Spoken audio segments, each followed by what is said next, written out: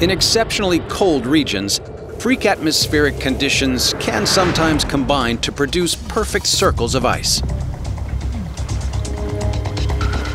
An ice circle is a natural phenomenon created in a portion of the lake that is a small eddy that's rotating. Sometimes the center of that eddy can have a little mass of ice. Well, as it spins, it's cooling the water down right next to it so that new ice forms on the edges of the disk. And if the water conditions are perfect, that new ice creates a slightly bigger disk, and that as it continues to rotate and cool the water down, it can become a rather large disk rotating in a very still lake. And it's one of the coolest natural phenomena that I've ever seen pictures of.